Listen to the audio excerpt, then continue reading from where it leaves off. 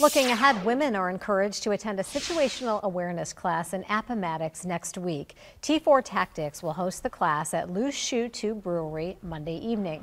They plan to offer tips on recognizing threats and avoiding them, as well as having participants share their own stories. T4 Tactics says it's important for women to be able to create a defensive mindset. I want them to take away that if I see something that's not right, I'm going to remove myself from that. That's the whole takeaway. And we're going to talk about threshold stimulus, levels of response, uh, situational awareness. The class is $50 and you will need to register ahead of time.